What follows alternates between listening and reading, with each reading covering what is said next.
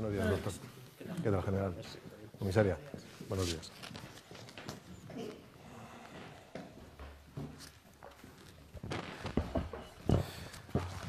Muy buenos días a todos. Eh, las 12 menos 20 van a ser, una hora menos en Canarias, y comienza la rueda de prensa de los responsables técnicos de los ministerios competentes, después de la reunión de cada mañana del Comité de Gestión con el presidente del Gobierno. Como cada día, Fernando Simón, director del Centro de Coordinación de Alertas y Emergencias Sanitarias, María José Rayo, secretaria general de Transporte y Movilidad, el general Miguel Villarroya, jefe del Estado Mayor de la Defensa, el general y jefe del Estado Mayor de la Guardia Civil, José Manuel Santiago Marín, y la comisaria principal y subdirectora general de Recursos Humanos y Formación de la Policía Nacional, Pilar Olle. Doctor Simón, buenos días. Hola, buenos días a todos. Bueno, como, como cada día vamos a hacer un breve repaso de, las, de la situación a día de hoy. Después pasaré la palabra a mis compañeros para que hagan el mismo ejercicio con cada una de sus áreas y posteriormente pasaremos a una pequeña evaluación y las, y las preguntas. Eh, a día de hoy seguimos con una evolución similar a la de ayer. Eh, ayer teníamos 5.183 casos nuevos, hoy tenemos 5.252. Saben que estas cifras en estos, eh, entre ayer, hoy y probablemente los próximos días están un poco distorsionadas por la introducción de los test serológicos que están haciéndose muchas más pruebas y algunos de ellos son en personas asintomáticas, lo cual nos va, va a implicar que durante unos poquitos días, dos, tres, cuatro, vamos a tener que ir corrigiendo progresivamente las series para hacerlas lo más homogéneas posible. Esto obviamente va, a implicar alguna distorsión en las series de datos que esperamos poder eh, ser capaces de explicar de la forma más correcta. Como decía, hoy hemos tenido 5.252 casos nuevos, que representan un incremento, eh, como veníamos observando en estos días anteriores, de alrededor del 2,8-2,9%. Es un incremento que se ha ido reduciendo desde el inicio del estado de alarma, eh, semana en la cual teníamos un incremento diario de por encima del 20% de datos confirmados, que ha ido pasando al 15, al 7, al 3 y durante lo que va de esta semana ya estamos por debajo de ese 3%. Datos que se observan en la misma evolución tanto para los hospitalizados, que estamos en un 34%, posteriormente 24, 7, 3 y ahora ya estamos en alrededor del 1,7, 1,6% de hospitalizados nuevos, como para UCIs, que también se ha reducido desde el 40% la semana del, del, decreto de alarma a un 1,5% de incremento actualmente, y los fallecidos, que como saben obviamente llevan un retraso un poco superior al resto de las variables, pero ha pasado desde un 38% de incremento diario en fallecidos la semana del decreto de alarma a un 3% esta semana. Este descenso ha sido progresivo, con sus pequeñas subidas y bajadas, sus altibajos, pero lo hemos ido observando a lo largo de todo, eh, de todo el periodo desde que, se, eh, desde que se implementó el decreto de alarma. Por otro lado, a nivel internacional, que creo que sí que es importante que vayamos también teniendo una visión un poco más global de la situación, eh, estamos viendo que el incremento de casos a nivel europeo va subiendo. Eh, la epidemia obviamente no, no se está escapando nadie todavía. Eh, esperemos que algunos países puedan sufrirla en menor nivel, pero lo cierto es que a, a día de hoy tenemos ya en Europa cinco países con más de 100.000 casos. Somos nosotros, desgraciadamente eh, por delante de los demás. Luego está Italia, Alemania, Francia, Reino Unido con más de 100.000 casos y otros que se van acercando progresivamente. De todas formas, aunque otros países con menores poblaciones no tienen tanto número de casos, no sería lógico, sí que tienen incidencias acumuladas muy altas, similares a las nuestras. Estamos hablando, por ejemplo, de Bélgica, de Suiza, de Países Bajos. En cuanto a cifras de, de letalidad, ya saben que hay que valorarlas con mucho cuidado porque no se puede eh, conocer la letalidad real hasta que se termina de curar o de fallecer, si ese es el caso, eh, los casos que tengamos ahora mismo identificados. Sabemos que con los datos actuales, eh, todos los países con un número importante de casos, los que he comentado que tienen más de 100.000, estamos por encima del 10%. Nosotros 10,5% justito, pero otros países están también en las mismas cifras. Italia en el 13%, eh, Francia en el 16%, Reino Unido en el 13%, Bélgica en el 13%, Países Bajos en el 11%. Es decir, que estamos muy en, nuestros datos son muy coherentes con lo que se está observando en otros países, que probablemente implica eh, lo que todos esperamos que esté pasando, porque de hecho se acuerdan a nivel internacional eh, que todos estemos utilizando definiciones de casos, fallecidos, etcétera, similares que permitan hacer una comparabilidad, lo cual no es por la obsesión de compararnos con otros países, sino porque los países que consigan una evolución mejor de su epidemia, obviamente nos pueden enseñar cosas a los demás, o nosotros podemos enseñar cosas a los demás que permitan un mejor eh, control de la epidemia en los países donde todavía no han tenido las incidencias que hemos tenido estos países que hasta ahora hemos sufrido más el efecto del coronavirus. Eh, eh, fuera de la Unión Europea, a nivel global, sigue siendo Estados Unidos el país eh, con, más casos. a día de hoy tiene ya 632.000, mm, ampliamente por encima del medio millón de casos. desgraciadamente la letalidad en este país también va subiendo progresivamente y a partir de ahí vienen países en la misma línea que se veía los, los días anteriores, China con 83.000, pero China lleva ya muchas semanas en los que solamente está notificado, notificando casos importantes. Por ejemplo, de ayer a hoy solamente ha notificado, perdón, importantes importados. De ayer a hoy solamente ha notificado 27 casos importados y detrás de, de China están Irán con 77.000 casos, Brasil 30.000, Canadá 28.000, India 13.000. Son países que están subiendo progresivamente eh, pero esperemos que eh, las lecciones que han podido aprender eh, de lo que ha pasado en, el resto del mundo consigan controlar de alguna manera la epidemia en sus territorios.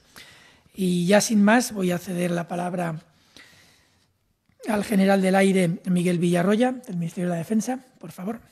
Gracias, doctor. Buenos días a todos. Las Fuerzas Armadas, en el marco de la Operación Balmis, mantienen un esfuerzo de 7.321 efectivos, entre los cuales, como habitualmente hago, eh, cuento también al personal sanitario militar que está desempeñando su labor en los hospitales militares de la defensa.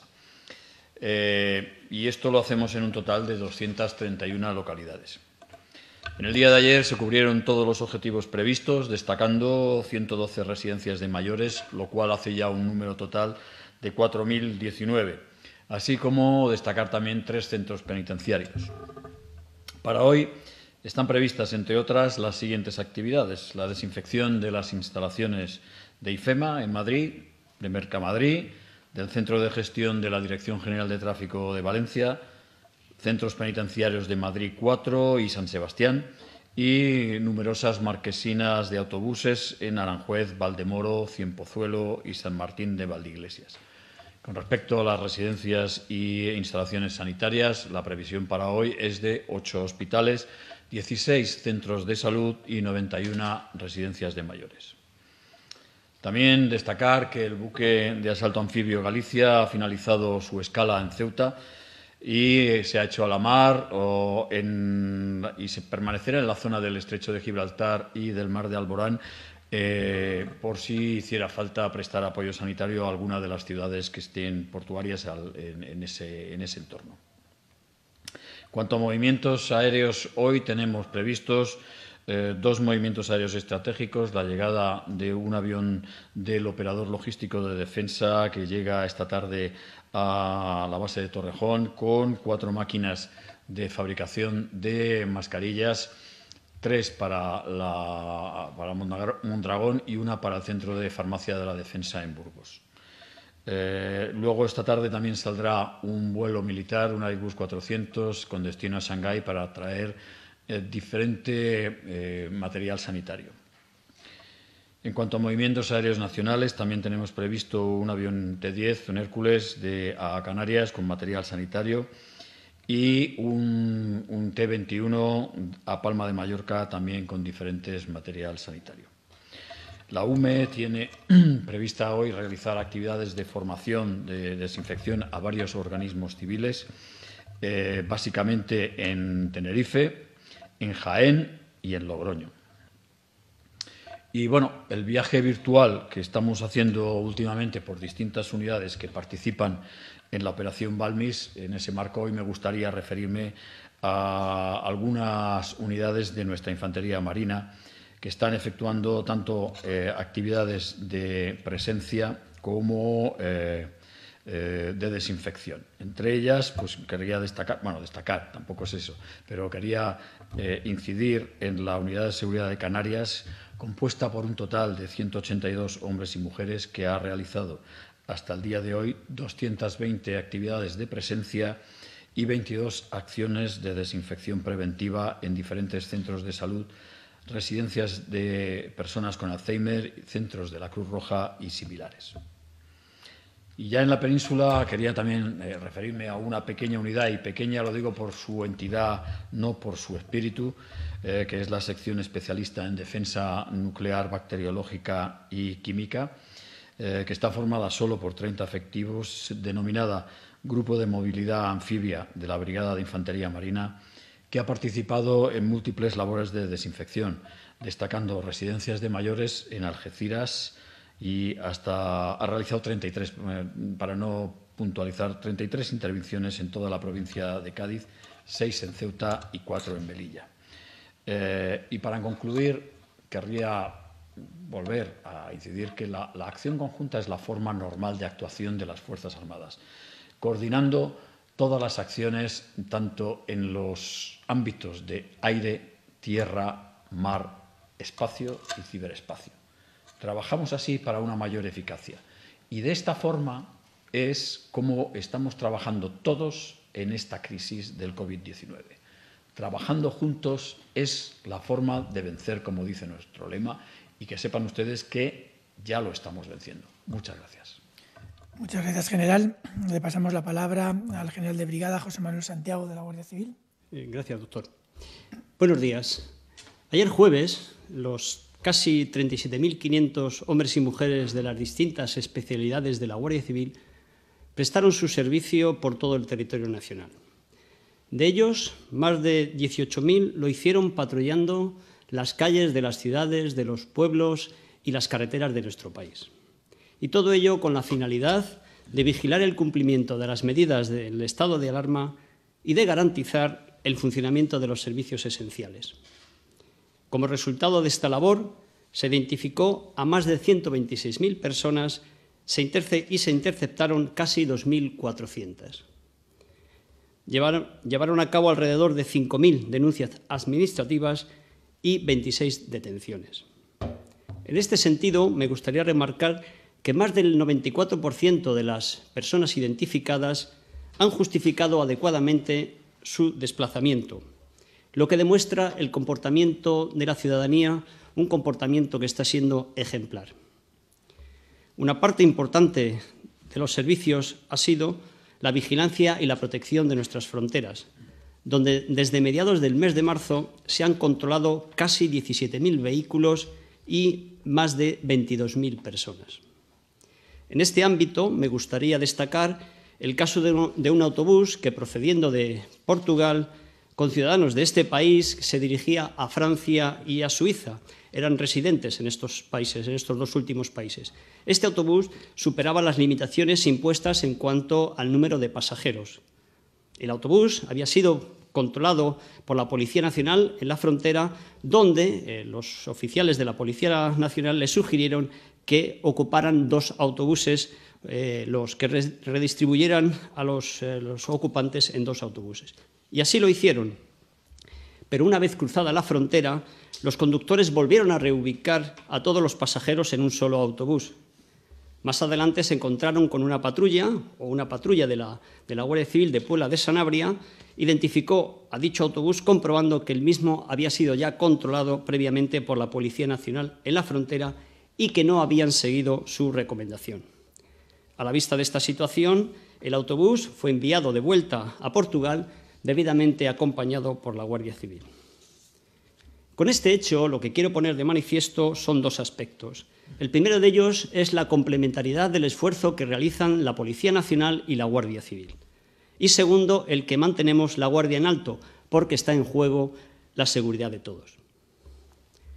Por lo que se refiere al refuerzo de la prevención de los delitos, me gustaría destacar que durante el estado de alarma hemos puesto un especial empeño en vigilar y proteger los establecimientos comerciales, los mercados, las farmacias y otros negocios similares, al tiempo que hemos controlado los posibles fraudes que pudieran cometerse. A esta labor hemos dedicado una media de 800 efectivos diarios. Y, por ejemplo, eh, en este tipo de servicios y gracias a la colaboración ciudadana se tuvo conocimiento de que una persona en Ávila, en la provincia de Ávila, podría estar vendiendo material de protección no homologado a ayuntamientos, asociaciones y particulares. Una vez realizada la oportuna investigación, se ha procedido a la detención de esta persona por los presuntos delitos contra la salud pública, la propiedad intelectual, perdón, la propiedad industrial, el fraude y al haberse constatado varias ventas de este tipo de equipamientos. Además, la Guardia Civil, en su lucha permanente contra el delito, no descansa. En otras ocasiones ya me he referido a otras actividades. Aquí traigo a colación, en materia del tráfico de drogas, la actuación de la Guardia Civil de Granada, cuando incautó 1.037 kilos de hachís y casi 900.000 euros en efectivo durante la realización de un dispositivo policial en una autopista. Por otro lado, y como suelo insistir, por lo que se refiere a los delitos que se cometen a través de la red, hoy querría informarles de una nueva modalidad de estafa. Concretamente, el procedimiento empleado consiste en realizar llamadas telefónicas suplantando a algún organismo o institución pública, como puede ser el Servicio de Emergencias 112 o la Unidad Militar de Emergencias, y todo ello con el objeto de pedir una ayuda económica para luchar contra el COVID-19. Como continuamente les recomendamos desde aquí, por favor, no realicen donaciones sin confirmar previamente el cauce adecuado con el organismo o institución de que se trate. Hoy es viernes y como todos los fines de semana les recuerdo la prohibición de desplazarse a las segundas residencias. Para vigilarlo, tanto la agrupación de tráfico como el resto de las unidades de la Guardia Civil mantendrán los controles de carretera. Y aprovecho la ocasión para decirles que hay personas insolidarias que están subiendo a las redes sociales la localización de estos controles, lo que va en detrimento de nuestra labor de control y además en detrimento de la salud de todos. Y termino. Hoy es un buen día para mejorar el mañana. Y recuerden, un día menos. Gracias. Muchas gracias, general. Le cedemos la palabra a la comisaria principal, Pilar Ayué. Gracias, buenos días. Eh, durante estos días eh, les hemos informado de la constante vigilancia que las unidades de la lucha contra la ciberdelincuencia de la Policía Nacional realizan en Internet y en las redes sociales. Se trata de una labor compleja y especialmente necesaria en estos días de confinamiento, estos días en los que hemos cambiado por obligación nuestra manera de vivir, haciendo que nuestra relación con el entorno virtual sea una necesidad para poder seguir eh, desarrollando tareas tan cotidianas como trabajar, hacer teletrabajo o hacer la compra. Por esa razón, nuestros patrulleros en la red han intensificado sus esfuerzos para garantizar la seguridad de los ciudadanos también en Internet. Ya les hemos advertido, y seguimos insistiendo en ello, sobre diversas modalidades de estafas online, sobre campañas masivas de phishing e incluso sobre ventas de vacunas milagrosas que son, por supuesto, un engaño. Todos ellos tienen un elemento común, sus autores, los ciberdelincuentes, que utilizan el anonimato que creen ellos que les otorga la red para obtener sus ilícitos beneficios. Hoy, además de advertirles, les podemos informar del resultado exitoso de un arduo trabajo policial, un arduo trabajo que ha culminado con la detención de un joven que con solo 16 años de edad había realizado numerosos ciberataques a organismos públicos y entidades privadas. Nos referimos a un pirata informático, un hacker, como, se dice como dicen los técnicos. Un hacker que, repito, con solo 16 años ya había quebrantado la seguridad de varias empresas, tanto nacionales como extranjeras, y de toda índole, así como los sistemas de entidades públicas, autonómicas y locales. Se trata de una eficaz operación de la Policía Nacional, resuelta en muy pocos meses, ya que el detenido llevaba actuando solamente desde finales del año pasado, si bien había tenido tiempo suficiente para atacar los sistemas informáticos de numerosas empresas. Los ciberagentes han, constatado que este pirata informático entró en una aplicación sanitaria donde pudo acceder a algunos datos personales de, varios usuarios, pero también accedió a plataformas de gestión de educación, logrando el acceso a datos personales de profesores y alumnos. En cuanto fue detenido y se pudo observar su prolífica en cuanto, perdón, en cuanto fue detectado y se pudo observar su prolífica, el, alcance de su prolífica actividad delincuencial, los policías actuaron de manera urgente para proceder a su detención y, quebrar su, carrera, su carrera delictiva. Precisamente en el momento de su arresto fue sorprendido infraganti realizando una incursión en las bases de datos de una empresa de mensajería, un ataque que fue, que fue frustrado por la intervención policial. Aunque todavía está por determinar el alcance real de cada uno de los múltiples ciberataques que habría realizado, lo que está claro es que se ha truncado su acceso a plataformas que contenían información de carácter personal y además se ha truncado su acceso ilícito que le permitían no solamente conocer la información contenida en esos ficheros sino que también incluso los podía modificar. Por otro lado, hace también unos días les informábamos de que la Policía Nacional había celebrado una reunión mediante videoconferencia con representantes de 68 unidades policiales especializadas de países miembros de Ameripol, que es la comunidad de policías de América en la que también, de la que también forma parte España y otros países europeos. En esa reunión, la Policía Nacional intercambió información sobre protocolos de actuación y compartió la experiencia española por la que se pueden adaptar camiones lanzaagua y convertirlos en equipos de descontaminación masiva. En definitiva, la experiencia de convertirlos en unidades de desinfección para grandes superficies. La iniciativa de la Policía Nacional fue muy, muy bien acogida y los participantes acordaron reunirse, reunirse, nuevamente para tratar otros temas relacionados con la lucha común contra el virus e intercambiar las experiencias.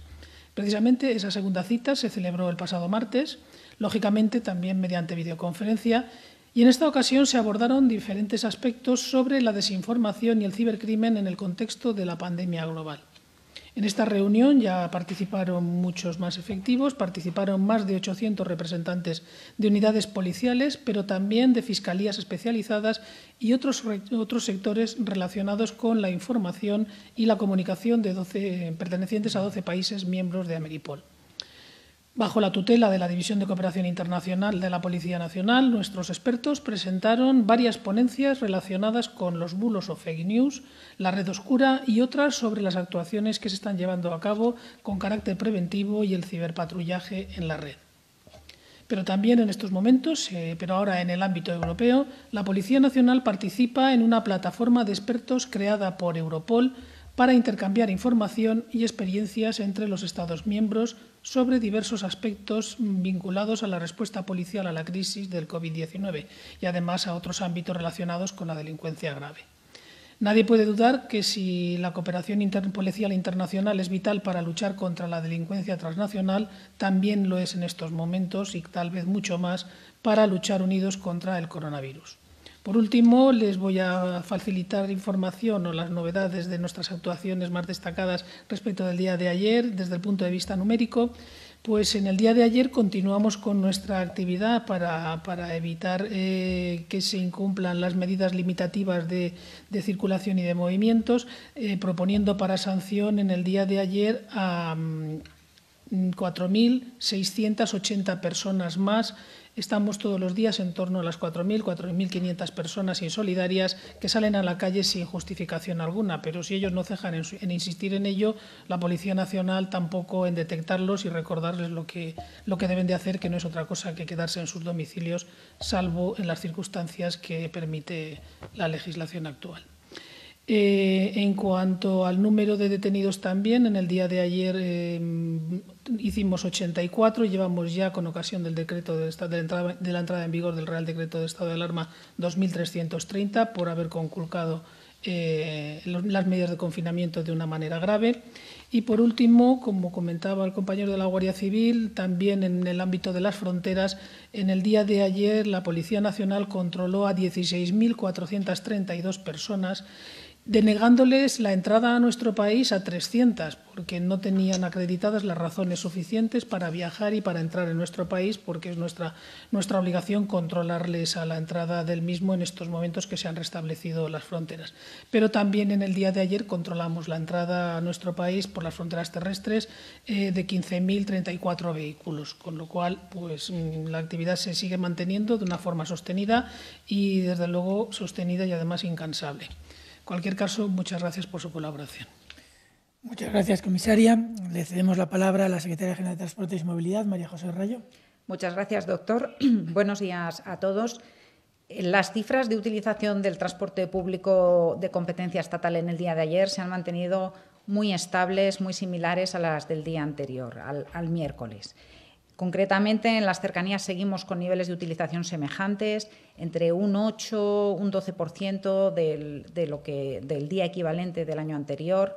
Eh, en Madrid un poquito más alta, también en San Sebastián, un poco más baja en Rodalías de Barcelona, en torno al 9%, pero mm, cifras que vienen manteniéndose toda la semana con la singularidad del lunes, que fue día festivo en algunas comunidades autónomas. En la hora punta de esta mañana no se ha identificado eh, ninguna aglomeración ni tampoco incidencias reseñables. En los servicios comerciales de Renfe, los servicios de AVE principalmente, seguimos con una utilización del entorno de los 1.500 pasajeros al día. Eh, llevamos toda la semana en ese orden de magnitud. la semana pasada estábamos en los 1.100, ha subido un poco, pero también es normal al, ser, eh, al haber acabado esta etapa de hibernación, la etapa de aplicación del permiso retribuido recuperable. También tenemos cifras eh, de continuidad en la utilización del autobús de larga distancia. Eh, estamos en niveles de demanda del orden del 4% de un día normal y en transporte aéreo nos movemos también en el entorno de las entre 250 y 300 operaciones diarias. Ayer concretamente en toda la red de AENA fueron 301 operaciones en las que destacan un cierto incremento de las operaciones con países de la Unión Europea. Hubo un total de 105 vuelos con países de, la Unión. Eh, indicar también que dentro del proceso de reordenación de todo el sistema aeroportuario para adaptarlo a la demanda actual, ya hay 12 aeropuertos que están autorizados para operar bajo demanda en su horario operativo. En estos aeropuertos, cualquier compañía aérea que desee su utilización puede solicitarlo con tres horas de antelación y de esta manera se pueden llevar a cabo las operaciones.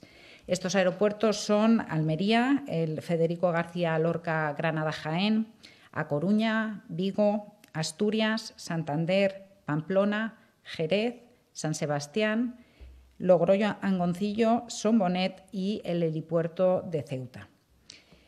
Eh, indicar también que durante todo el periodo desde que se inició el, estado de alarma han operado en la red de AENA más de 100 vuelos de carga, eh, principalmente en los aeropuertos de Madrid, Barcelona, Valencia y Zaragoza, dedicados en exclusiva al traslado de material sanitario. En estos vuelos, AENA se hace cargo de las tasas aeroportuarias y ello sin perjuicio de todo el material sanitario que se ha transportado, además, en las bodegas de aviones de pasajeros. En cuanto a las cifras de utilización de los vehículos ligeros, del transporte privado eh, particular, también nos mantenemos en cifras similares a martes y miércoles. Estamos en el entorno de reducción de un 70% respecto a la semana de referencia. Y me gustaría volver a hacer referencia, ya por cuarto día consecutivo, al estudio de movilidad con utilización de tecnología Big Data que va actualizando día a día el Ministerio. Y hoy el último día publicado corresponde al día 13 de abril. No sé si tenemos oportunidad de ver en la pantalla eh, las conclusiones por comunidades autónomas de la reducción de la movilidad. El día 13 fue el lunes pasado, fue festivo en ocho comunidades autónomas, cuestión que se refleja claramente en eh, los porcentajes de reducción de, la movilidad en cada comunidad autónoma. De esta manera, las comunidades autónomas en las que hubo una mayor reducción de movilidad respecto a la semana de referencia, que recuerdo que es una semana del mes de febrero, fueron Baleares con el 82%, Cataluña con el 80%. Hay que recordar que estamos hablando de una herramienta que forma parte de un conjunto de herramientas de utilización de tecnología Big Data y que se complementa con las mediciones reales de utilización del medio de transporte público y del transporte privado. En concreto, esta herramienta mide movimientos de móviles y refleja, por tanto, los viajes eh, a pie, los viajes en transporte público y en transporte privado en todas las redes de carreteras. Eh, en cuanto a un segundo dato que también eh, publicamos diariamente, eh, hace referencia a los viajes que se realizan por persona. Y no sé si podemos ver el segundo gráfico. Este, bueno, hay muchas maneras de medirlo, pero lo que viene reflejada en, este gráfico es por los principales municipios, de, o sea, los municipios de mayor población en cada comunidad autónoma. Eh, de media, en España, un 60%, el pasado lunes, un 60% de las personas no realizaron ningún viaje, mientras que un 21% realizaron más de dos viajes en ese día. En los municipios en los que hubo un mayor porcentaje de población que no realizó ningún viaje corresponden también a municipios en los que fue día festivo. Concretamente Barcelona, con un 72% de la población que no realizó ningún viaje de más de 500 metros, que es lo que mide este estudio, eh, Palma y Valencia. En cuanto, en sentido contrario, aquellas eh, ciudades en las que eh, un mayor porcentaje de la población realizó más de dos viajes, pues tenemos a Las Palmas, Murcia y Vigo, en el que el 30% de la población realizó más de esos dos viajes. Por otra parte, continúa el proceso de reparto de mascarillas a todos los profesionales del sector transporte. Ya se llevan repartidas 613.000 mascarillas y hoy es el último día previsto para el reparto de, eh, este lote de mascarillas eh, a los profesionales del transporte de mercancías. Y en este sentido, animar a todos los transportistas que no las hayan recogido y que deseen hacerlo, porque mm, después de esta fecha eh, este, eh, de este reparto eh, queda finalizado. La semana que viene se empezará a repartir un nuevo lote de mascarillas. Indicar también que Renfe, como ya he mencionado en alguna otra ocasión, tiene a disposición de todos los, profesionales sanitarios el transporte ferroviario gratuito de larga distancia, servicios AVE de media distancia, todos los servicios de larga distancia y ya hasta el momento mm, es un, servicio que han utilizado más de 1.600 eh, profesionales. Y además Renfe también ha adaptado algunos horarios de trenes para permitir un mayor eh, ajuste de los horarios de los profesionales sanitarios al propio horario del tren. Y en este sentido, y ya para eh, finalizar, me gustaría hoy eh, dedicar un agradecimiento especial y un reconocimiento a todos los trabajadores, a todos los profesionales vinculados al transporte ferroviario. Por supuesto, a los de Renfe, a los de ADIF, a los de la Agencia de Seguridad Ferroviaria, que forman parte del Ministerio de Transportes, Movilidad y Agenda Urbana pero también a todos aquellos que trabajan en las empresas ferroviarias de transporte de mercancías privadas, un sector pequeño de momento, pero desde luego con vocación de ir cogiendo importancia en los próximos años, también a los trabajadores de los metros, de los ferrocarriles autonómicos, de metros ligeros y, en definitiva, todos aquellos que permiten que los ciudadanos y los eh, agentes económicos puedan utilizar este servicio que es esencial en nuestro país.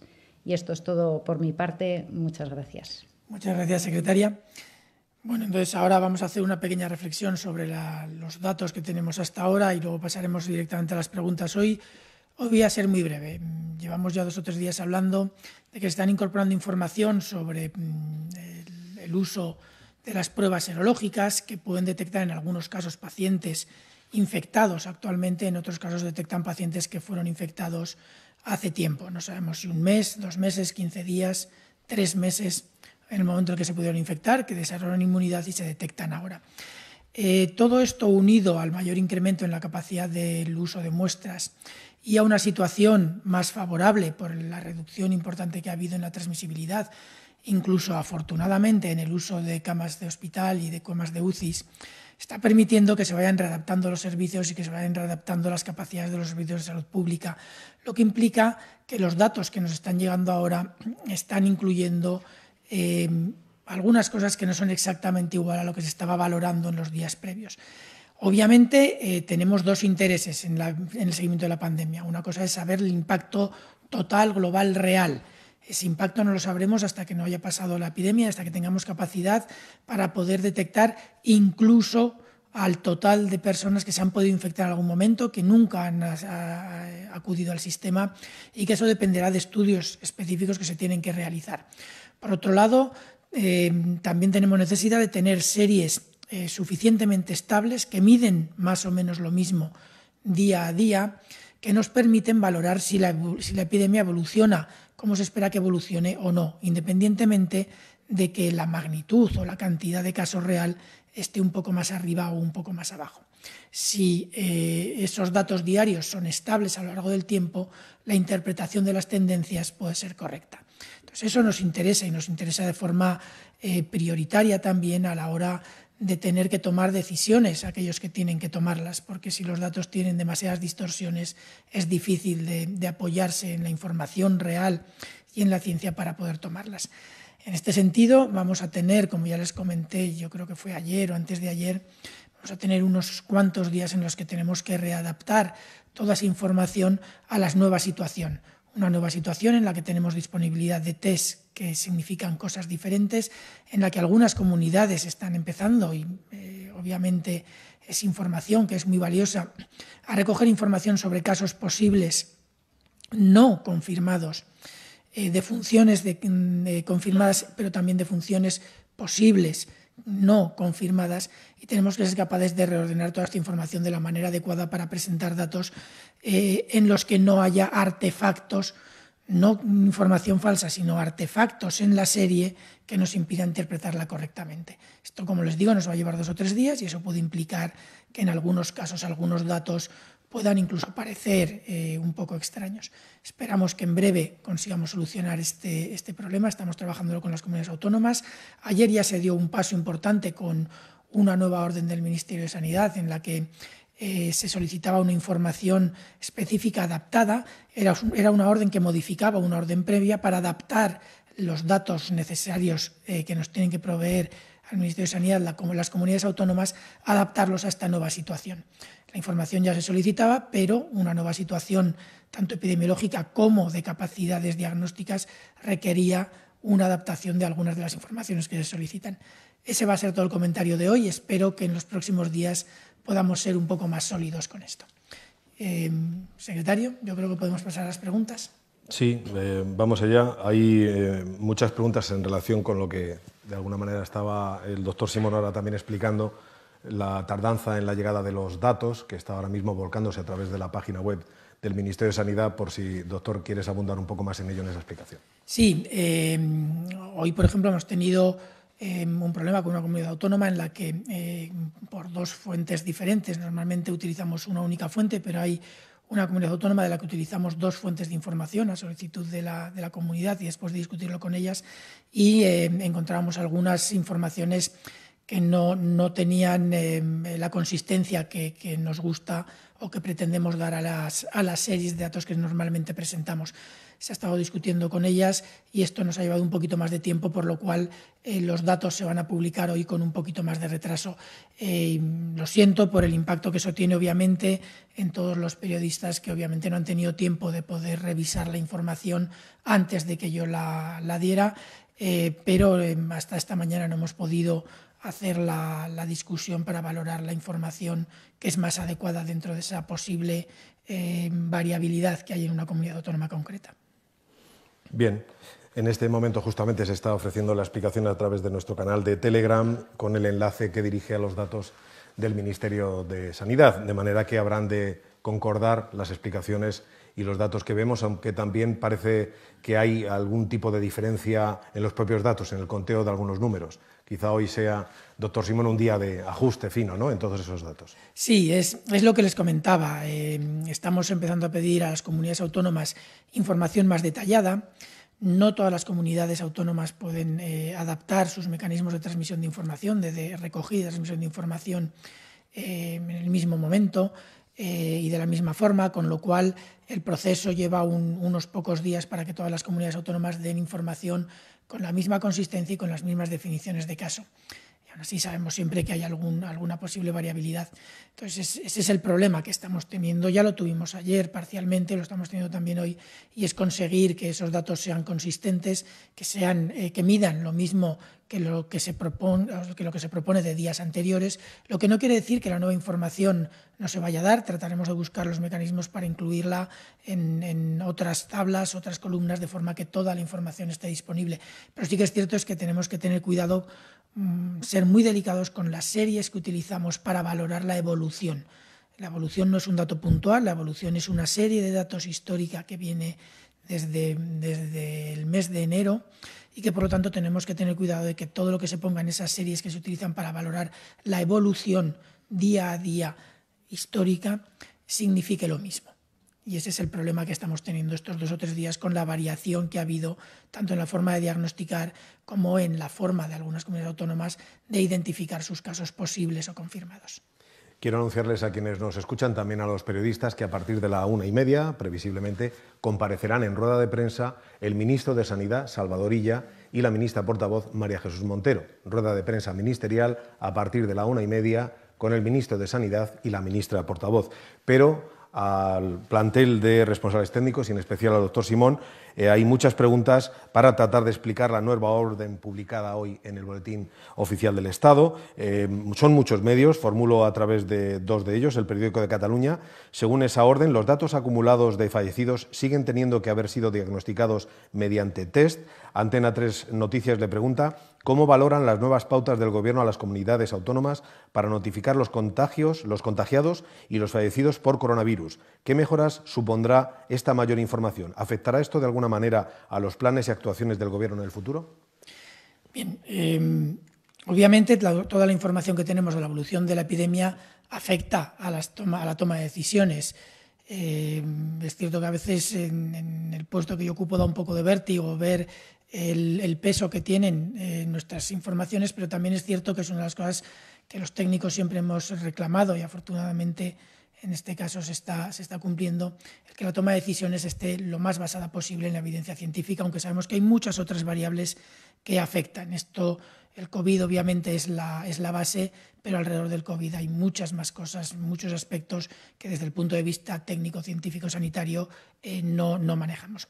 En cuanto a la nueva orden, lo que se busca es conseguir eh, más detalle de información para poder valorar correctamente tanto las nuevas situaciones que se van generando por las pruebas eh, nuevas que se están aplicando, fundamentalmente los test serológicos, y el incremento muy sustancial en la capacidad de hacer pruebas eh, PCR que se ha vivido en los últimos eh, días, incluso más de una semana, a la para perdón, adaptar la, la, nueva situación a los requerimientos a las comunidades. no, no se hace nada especialmente extraño, ya había una orden previa, si no recuerdo mal, creo que era del 15 de marzo, en el que se hacía una solicitud de datos, lo que se ha adaptado es los anexos de aquella orden se han modificado para pedir esta información con más detalle. Si esto va a afectar a la información que se va a dar, se va a dar eh, progresivamente, a medida que seamos capaces de interpretarla de la forma correcta, se va a dar más información. Lo que se va a tratar también es de que, como decía hace un momento, las series que nos permiten evaluar la evolución de la epidemia históricamente eh, las podamos mantener con una calidad suficiente. Eh, toda la información extra que se está solicitando se va a dar, pero tenemos que garantizar esa separación entre las nuevas definiciones de caso, las antiguas, los nuevos test o las nuevas pruebas que se están realizando y cómo se estaba realizando previamente. En cuanto a los fallecidos, nosotros eh, desde el primer momento de la epidemia hemos dicho que se iban a dar datos de casos confirmados. Eh, para nosotros es complicado jugar con datos de pacientes sospechosos, pacientes posibles, eh, personas que podrían tener alguna sintomatología y más cuando hablamos, por ejemplo, de los fallecidos. en España, afortunadamente, aunque obviamente el COVID eh, ha trastocado un poco esta, esta situación, pero los porcentajes siguen manteniéndose igual por grupos de edad, aunque haya habido un incremento de la mortalidad. Lo cierto es que en España eh, las personas que fallecen son las personas muy mayores. Eh, las personas de menos de 65 años que fallecen en España comparativamente son realmente muy pocas. En personas eh, muy mayores, que están muchas de ellas institucionalizadas en residencias o en otro tipo de, institución, son personas que suelen tener en un porcentaje muy, muy elevado eh, polimedicaciones, factores de riesgo importantes, además del, del, posible factor asociado a la edad. Y obviamente son personas que tienen algún tipo de sintomatología durante mucho tiempo el, basar nuestras definiciones de caso oficiales en personas que pueden tener algún síntoma de COVID cuando sabemos lo inespecíficos que son estos síntomas, una tos, una diarrea, un dolor de cabeza, unas décimas de fiebre, cualquier síntoma que pueda estar relacionado con el COVID, eh, daría una información muy distorsionada de la realidad. Es cierto que con las pruebas serológicas actuales vamos a poder tener alguna información extra sobre lo que está pasando, pero son estudios que se tienen que hacer ad hoc, que se tienen que hacer específicamente y valorar separadamente de esas series históricas que comentaba a las que tenemos que, en las que tenemos que incluir lo que significa lo mismo que los días anteriores. Eh, dicho eso, es cierto que las comunidades autónomas están recogiendo cada vez más información sobre esos casos sospechosos, posibles, etcétera, que nos va a ser muy útil eh, tanto para valorar los resultados de las futuras encuestas de seroprevalencia cuando se hagan, como eh, la, la, información global de la epidemia. De hecho, ya hemos oído todos, no sé quién lo haya leído, que en China, por ejemplo, están haciendo ahora una revisión de toda la información de esos casos sospechosos. Yo entiendo que en España obviamente vamos a tener que hacerlo porque hay muchos casos sospechosos a los que en algún momento habrá que ver qué impacto han podido tener en la transmisión de la enfermedad. Volvemos, doctor Simón, sobre los datos, porque son necesarias muchas aclaraciones. Bloomberg eh, comenta que hoy los fallecidos son 19.478, ayer 19.130. La diferencia son 348 personas fallecidas. Associated Press dice tampoco le cuadran los números de recuperados. Y, eh, en fin, esto lo plantean otros muchos medios. Eh, finalmente, eh, dice, los curados tampoco nos cuadran, hay menos que ayer, 72.963. Si podría, de alguna manera, aclarar si los datos de ayer no sirven, qué pasa con la serie y si podría cuadrar bien.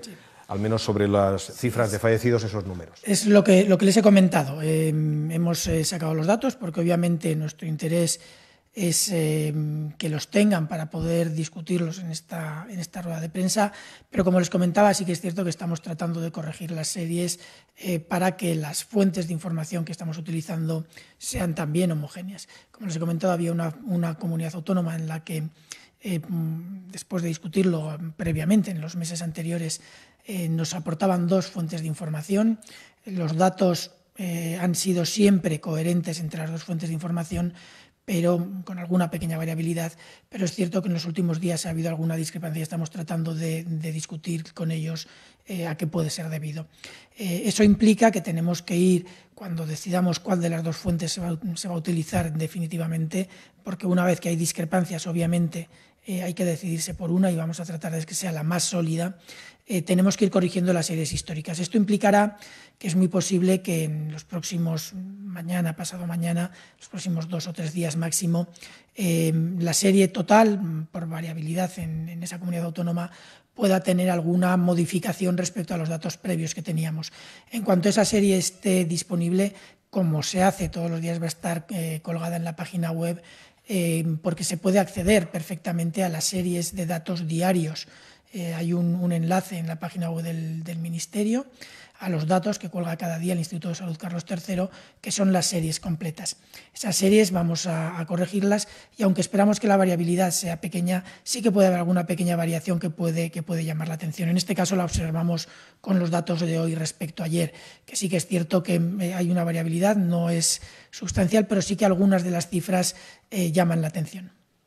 Entonces, de manera concreta, los datos de fallecidos los puede anunciar sí. doctor Simón y también nos puede decir si hay diferencias entre contagiados asintomáticos o no, si lo ha establecido también esta serie, este nuevo cuadro. Sí. Eh, ahora mismo los, los, datos que nosotros consideramos más adecuados, y ya digo que estamos terminando de revisarlo, en nuevos fallecidos sería de 585 nuevos fallecidos, para un total de 19.478. También preguntaban por, los, por los, eh, las personas dadas de alta. Eh, sí que es cierto que tenemos eh, dos cifras eh, diferentes que sí que pueden tener discrepancias importantes y esta es más fácil que sí que exista esa discrepancia porque las personas que están en casa y que son dadas de alta en el domicilio pueden tardar más en incorporarse a los datos y según la fuente ese retraso puede ser mayor o menor. Vamos, ahora mismo tenemos una diferencia de alrededor de 5.000 casos de diferencia eh, a nivel nacional. A nivel nacional no es exagerado, pero sí que es cierto que en los curados tenemos que valorar esa diferencia. Eh, no se preocupen que estos datos en, en, los próximos días se van a corregir con la fuente más, más adecuada. Y la otra pregunta era sobre... Contagiados asintomáticos. Contagiados asintomáticos. La información se ha solicitado hace ya dos o tres días a través de los servicios de vigilancia, pero sí que es cierto que oficialmente eh, se solicita con la orden que se ha publicado esta mañana. Hasta ahora hemos recibido información de alguna comunidad autónoma que sí que ha podido preparar su sistema para hacer esa diferencia, pero son pocas todavía. Creemos que es mejor no, no, adelantarnos a los acontecimientos y esperar a que haya un número suficiente de comunidades autónomas para poder hacer una valoración, una valoración real. Sí que les puedo decir que eh, una gran parte de estos asintomáticos hasta ahora tendremos que ver cómo evoluciona en el futuro, porque obviamente las pruebas se van aplicando eh, progresivamente en diferentes espacios o en diferentes grupos poblacionales. Hasta ahora la, gran, la mayor parte de los asintomáticos se han detectado cuando se han hecho pruebas tratando de cubrir el total de la población de las eh, residencias de ancianos. Eh, de las residencias de mayores. Esta, esta información eh, obviamente ha identificado muchas personas asintomáticas de las que no se puede identificar un momento concreto de inicio de síntomas si es que lo han llegado a tener y por lo tanto son muy difíciles, como decíamos también ayer, creo que fue, ubicarlas en el tiempo. Eh, como les decía, tenemos datos de muy pocas comunidades autónomas. Si no les importa, para ser un poco más preciso, preferiría esperar. Esos datos hasta ahora indican que el número de nuevos test tienen un porcentaje importante de asintomáticos detectados, eh, pero si no les importa, preferiría esperar a tener información de más eh, comunidades autónomas para poder hacer una valoración correcta. Eh, Servimedia pregunta a los responsables policiales cuántos agentes se dedican actualmente a localizar bulos y noticias falsas sobre el coronavirus. ¿Se ha presentado alguna denuncia? Yo en estos momentos no dispongo del número, del número exacto, pero ya he referido en mis anteriores intervenciones que es la Unidad Central de Ciberdelincuencia y los diferentes grupos que están desplegados a lo largo del territorio nacional, los que entre su principal cometido está el detectar eh, la delincuencia que circula y que, se, y que utiliza la red precisamente para delinquir. Entonces, diría que eh, en estos momentos es prioritario, pero la prueba de que no solamente nos dedicamos a vigilar en relación con el coronavirus es la detención del hacker que he comentado en mi intervención. Lamento no disponer en estos momentos de los números. En Guardia Civil también lamento no disponer de los números, sí que puedo decirle que toda la estructura de investigación, ya sean nuestras unidades de, información a nivel central o a nivel periférico, y también las unidades, la unidad central operativa de, la Policía Judicial de la Guardia Civil, o también los equipos de, de, delincuencia informática que tenemos distribuidos a nivel territorial, pues están constantemente monitorizando las redes, están vigilando, eh, eh, están recopilando pruebas pues, para luego proceder eh, como corresponde tras una investigación. Es un poco en cómo estamos. Doctor, Radio Nacional le pregunta, con el nuevo método de recuento, ¿cuánto estiman que puedan subir los positivos y los fallecidos? Bueno, yo creo que eh, a lo largo de todas estas semanas hemos indicado con, cierta reiteración que eh, sabemos que hay casos asintomáticos, no, no, sabemos si es un número excesivo o no, aparentemente con los estudios que se han ido realizando no sería excesivo, pero tenemos un importante número de asintomáticos, también tenemos un importante número de personas con cuadros leves que, una de dos, o ni siquiera eh, contactan con el sistema, por lo tanto no son, no son detectables, o cuadros leves que aunque hayan contactado con el sistema, por diversas razones no se les ha llegado a hacer la, prueba. Esto implica que eh, esperamos que haya un incremento de casos eh, si hacemos test masivos a todo el mundo. Eso lo sabemos y se ha ido, se explicando. Eh, no, no podría decir cuántos podrían ser. Sí que podemos tener alguna valoración respecto a lo que puede pasar con otras patologías o respecto a lo que puede estar pasando en otros estudios o respecto a lo que otros expertos de otros países, de la OMS, del, Centro Europeo de Control de Enfermedades, nos pueden ir eh, transmitiendo.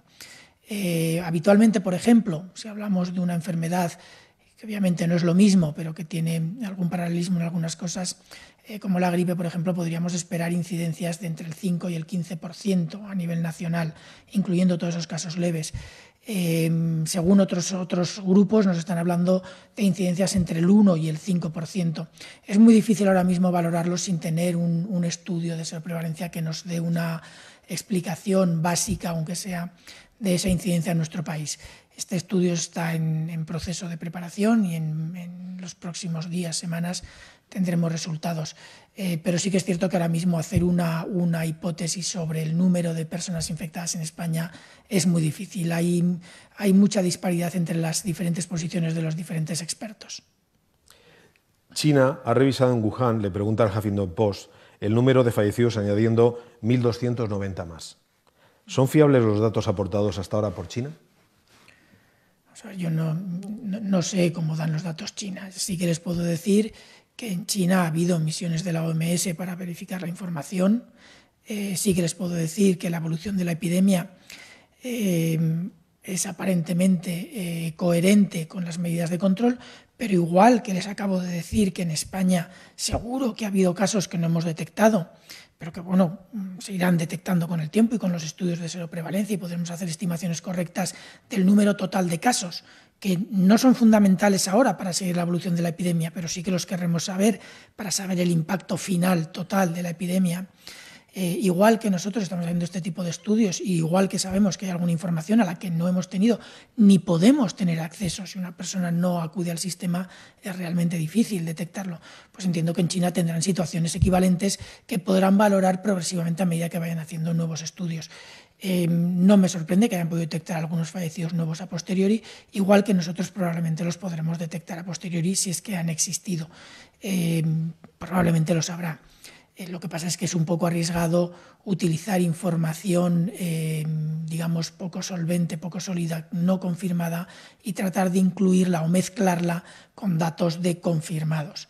Nosotros ahora mismo estamos en una situación en la que, si bien es importante detectar lo más que podamos y sobre todo los casos nuevos para identificarlos, diagnosticarlos y aislarlos precozmente y hacer un seguimiento correcto de sus contactos, también es cierto eh, que tenemos que tener una solvencia, en, como decía antes, en esas series para poder hacer un seguimiento correcto de la evolución.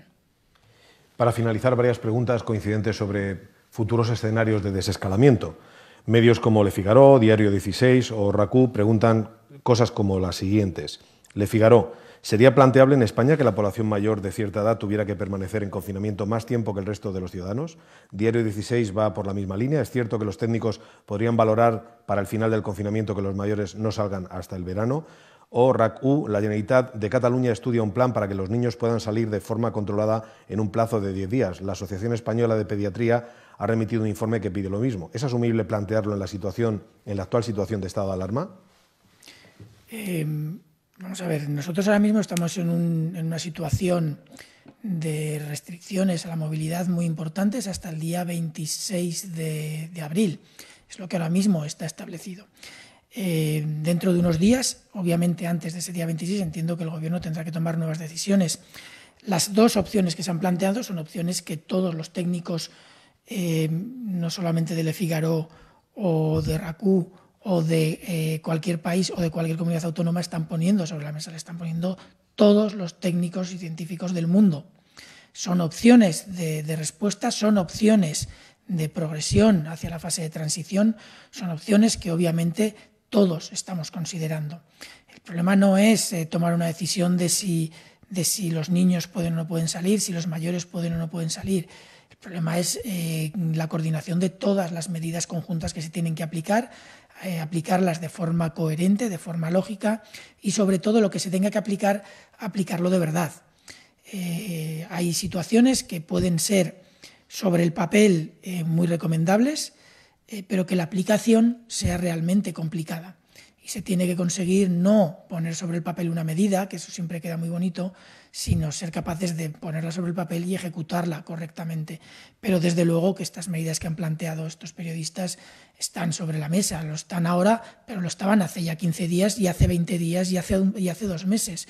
Eh, son medidas que todos estamos valorando constantemente y que seguiremos valorando y aplicándolas en la medida que los, los diferentes grupos de trabajo eh, de técnicos vayamos considerando, bueno, eh, propondremos y luego las decisiones las toman, afortunadamente para nosotros, las toman otros.